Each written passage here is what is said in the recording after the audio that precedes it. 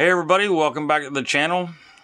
Uh, we're gonna make a drum.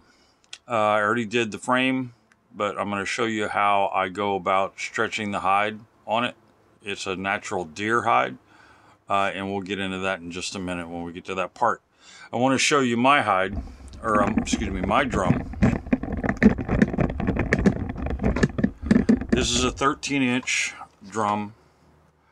Uh, this has a mule deer hide on it, which is a little bit thicker and it's going to sound a little bit deeper. And you can see the finished product on the back. Uh, how I bring it together and make a handle here to hold on to it. Uh, and then I'll explain the wood right now. So in the process of making the the wood base. I don't make round, obviously. I make the uh, octagon shaped.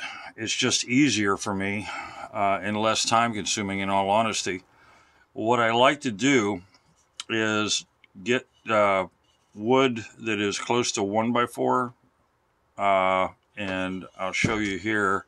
This is actually old flooring um, that was never used, and it's all pine. So we have one inch or three quarter inch there. I cut them all down to the same size, about two and a quarter, two and three eighths.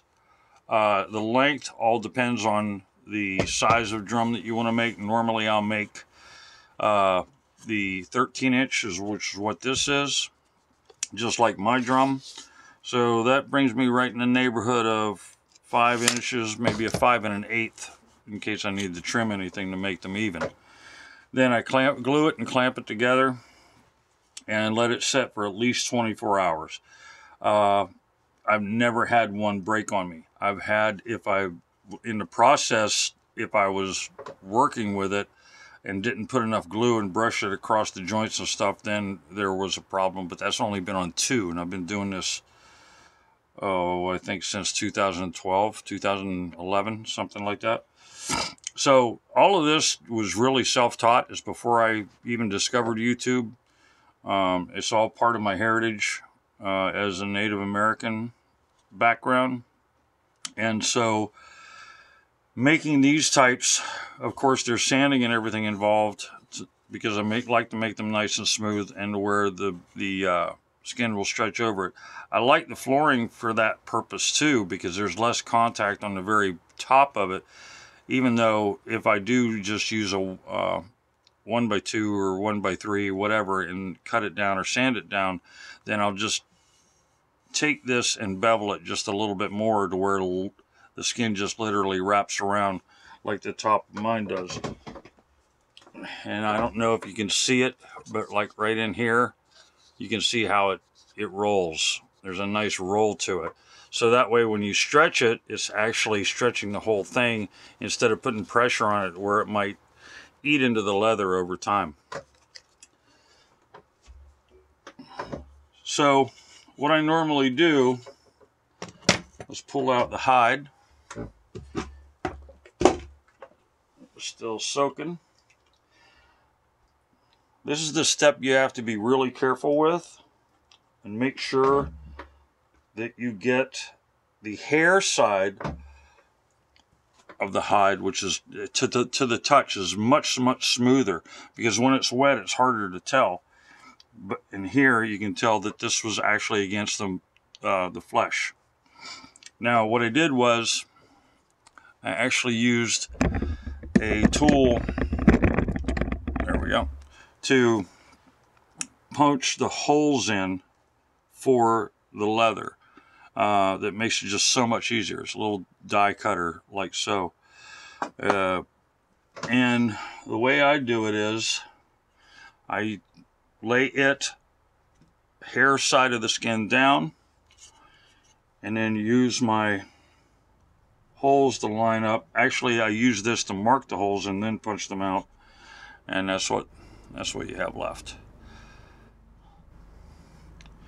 Now I use a black permanent marker Sharpie to go ahead and mark them even when it's wet and then um, make sure that they're placed very close to the holes and it's going to come out just like this. Now, as you stretch it, it's going to obviously pull harder. Now, the one thing that you have to be careful of is, now I can tell by the, I don't know if you can see this on the on the camera or not, but this here is much thinner than what this is. You can actually feel the difference and you can almost see the difference. What it, this is, is the what it's representing is that this part, what is now placed as the top, was towards the back, in other words, the backbone of the animal that comes down, and as it gets thinner, that's what's coming down towards the belly. So I would say that this came from just a normal white-tailed deer, and uh, it, it is probably closer to the spine than it is the stomach because it's just this section right here from what I can feel is much thinner. So whenever you're doing your tightening with the paracord, you have to be really careful not to accidentally pull too tight or it will break. It'll break and tear right through. Like right here, we have a small tear.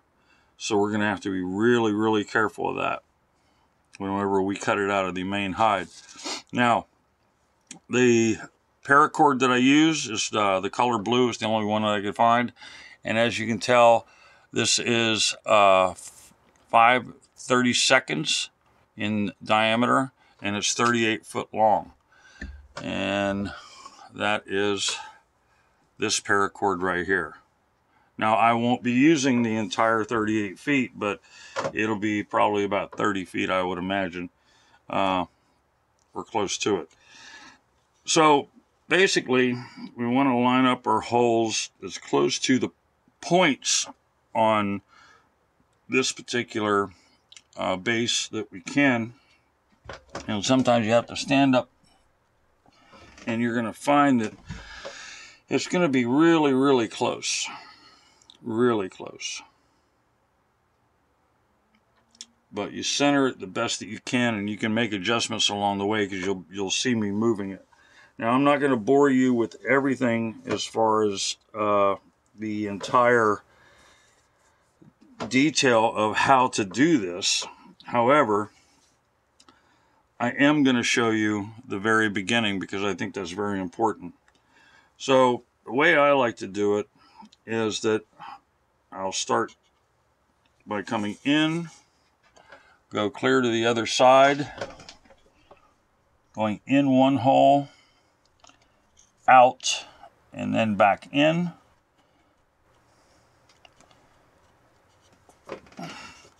You can get a better shot of it there. Bringing it all the way back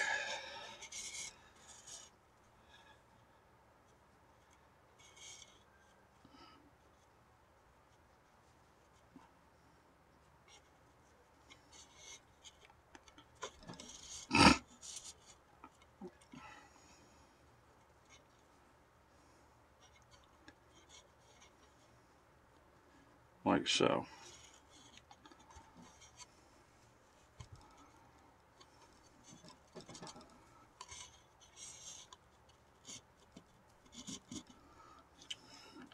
Find a center point and just doing what is similar to a surgeon's knot.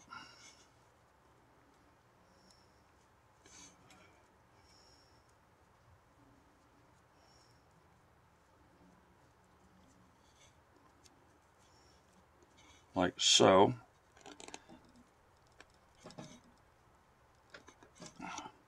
And then finding the center, which is right about there. hopefully being able to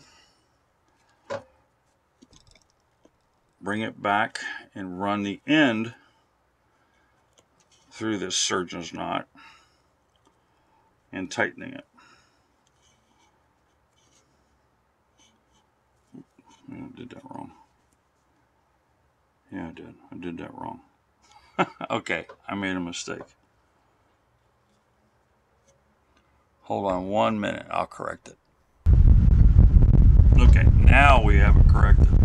So I put the end loop on this end and pulled it through and tightened it to where I can feel it and it's pretty well centered. So we're good to go there. Now, all we have to do is turn it this direction and repeat the process.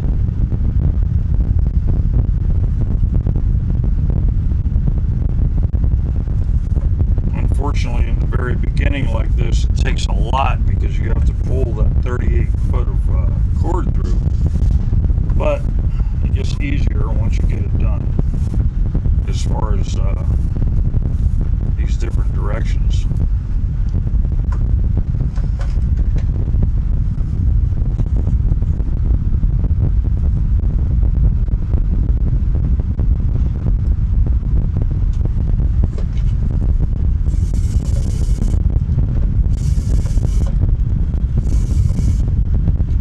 It is consuming, but it, you have to be very careful in how you're doing it and make sure that it's going to line up exactly the way you want it. Uh, you can adjust it along the way and actually pull it a little bit tighter, but what I've found is as long as you're getting the sides where they need to be, see, like I have to pull this this direction just a little bit, the base towards me, and then pull it up like this. Now it doesn't have to be super duper tight because you're going to be doing the wrapping and everything for the handhold in the center later on, and that's what's going to help stretch it. And all we have to do is come this way. We're going to go from here to here, and then eventually from there to there. So you want to go underneath.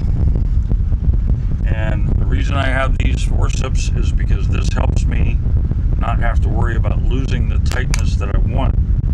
So I just leave it right in there like that. So again, go ahead and feed all the paracord through.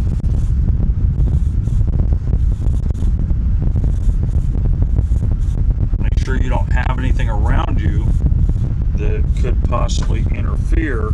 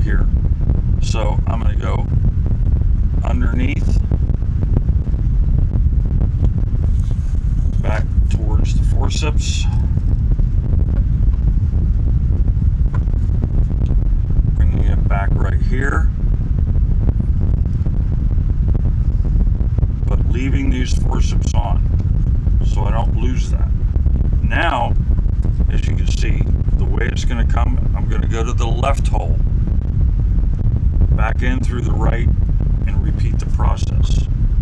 So let me go ahead and get this part done and we'll see if we can't come back with the rest of it when I'm almost completely finished and show you how I do the wrapping for the handle. Okay, so this is what it looks like completed as far as stretching the hide itself. And as you can see, it's pretty even. It looks nice, pretty taut, not too bad. When I tighten these, it's just snug, if you will. It's just tight enough to where I know that they're not going to be too loose. So at that point, I normally get a like a bread bag type of uh, fastener and just go ahead and put my paracord like this so that I ha don't have to keep pulling it through like I did with the holes. But what I'm doing here is actually going to wrap around four, one, two, three, four at a time, like what was on, on mine. So that way we'll have four separate sections. And the reason I do this is because it brings it all together.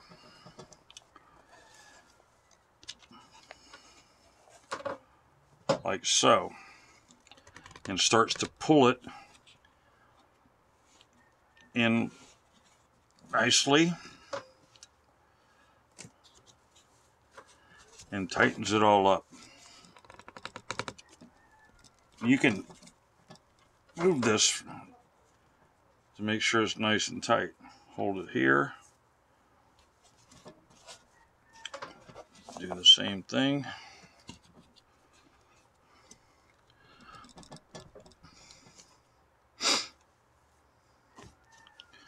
Normally I'll do this, well, depending on the drum, six, maybe seven times each. Uh,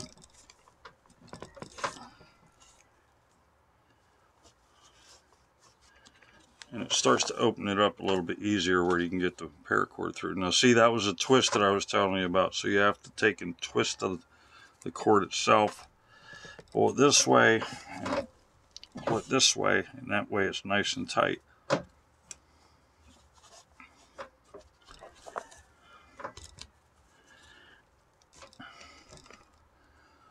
One, two, three, four, five, six. This will be number seven.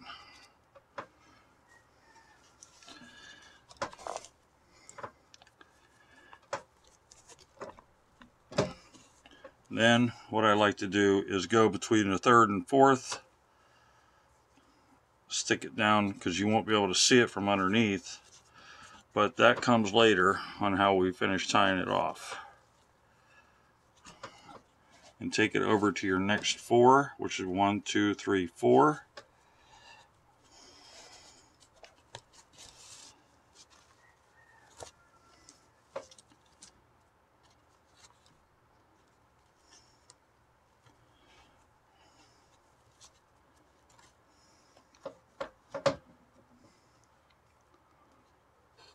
one two three four and then go in the opposite direction on the opposite side. And we'll finish show you that uh, finish stage coming up next. Okay so here's what the T looks like after you're wrapping from the center outwards. And this just adds more tension to the drum skin uh, to the hide. That way, when it begins to dry, it will definitely get tighter.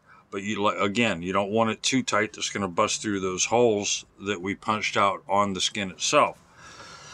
So as you can see, I made the first wrap here.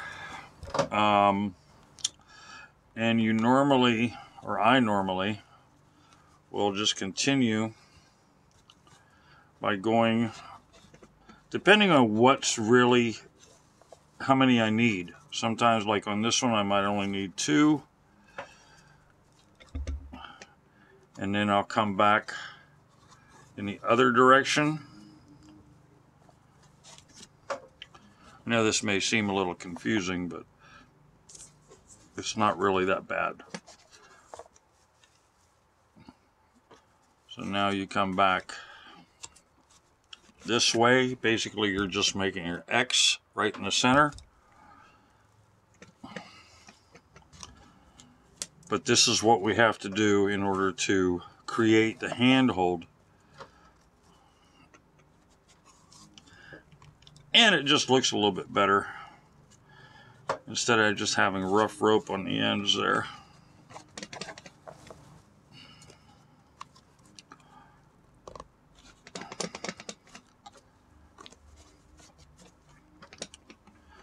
First was two, this is four, and then we'll decide on how big we want to get for the handle itself. And then you see I'm ending here and then bringing it back up here and going opposite and I'll show you the rest of that when it's finished here in just a moment. Okay folks, there you have it. That's the finished product in the back. Once again, just ran the, paracord through the uh, hide and through the holes, always going opposite directions. I did the flat side first and then and then the corners. And then proceeded to wrap these to make the cross and bring it in nice and tight. You can tell just by feeling it they're much tighter and then wrapped around in opposite directions to make a nice little handhold where it almost fits in your palm it's just much more comfortable so that you can hold it with this either your right or left hand while you're playing it. And it doesn't really matter. You know, you, you can be right-handed or left-handed. It's just what you're comfortable with. Even if you wanted to take and you put your your fingers through it like this, or however you wish to hold it that's most comfortable for you. And the uh, the parts that I was telling you about, like here, when I was doing it from one side to the other, and it has this here, that's how I fastened it on this end and then super glued it to make sure that it wasn't going to come out. So there you have a yellow white pine base that I showed you in the very first part of the video, the blue paracord, and deer hide. Obviously it's still wet, it's, it's, it's damp, it's, it's not like soaking wet because that's why I also used the towel to help soak up some of that moisture. But that's also why I didn't bore you with going through the whole thing. I had to do it rather fast so that it would be able to stretch once it got completed as far as the stretching went. So it has a nice bounce to it now. I can feel it. I don't know if you can see it. Um, and like I said, what's really cool too is what you have as the thicker side that I was telling you about that goes towards the backbone as compared to the thinner side, which is the, the belly, you're going to find that a drum like this is going to have multiple tones to it throughout, whether you play it on the edge here where it's thicker as compared to the thinner and so on and everything in between and even side to side. That's the beauty of these natural drums. You know, they're not synthetic. They're all complete completely natural except for the paracord, of course. Uh, and they sound beautiful, and every single one of them has a different tone to it, and they're distinct. Um, and that's what makes it unique and personable to whoever purchases purchases them. Now, with that being said, yes, I do sell them. If you want to leave your name and uh, email in the comment section, I can send you information uh, and build you one. I also uh, paint them if there's something that you would like on, like a Native American scene or a beach scene or something like that. I can also do that at an additional cost. But anyway, hope this helps you out as far as you making your own because there are places where you can buy your own drum kits. This is what I've felt found for myself and felt it works the best. Um, and I hope it's helped you out. I hope you enjoyed this video. And uh, the next video is going to be how to make your own beater or mallet uh, that goes right along with your drum. Hope this has helped all of you out and you enjoyed the video. If you did, please share, like, comment, uh, hit the little subscribe, hit the little bell notification, and you'll see more things that I'll be making uh, that I normally do, whether it's paintings or fishing gear or drums or whatever it is that I do, because it's never the same. All right. Thanks so much for watching. Have a great week. We'll see you the next time on Raw Life. Bye bye.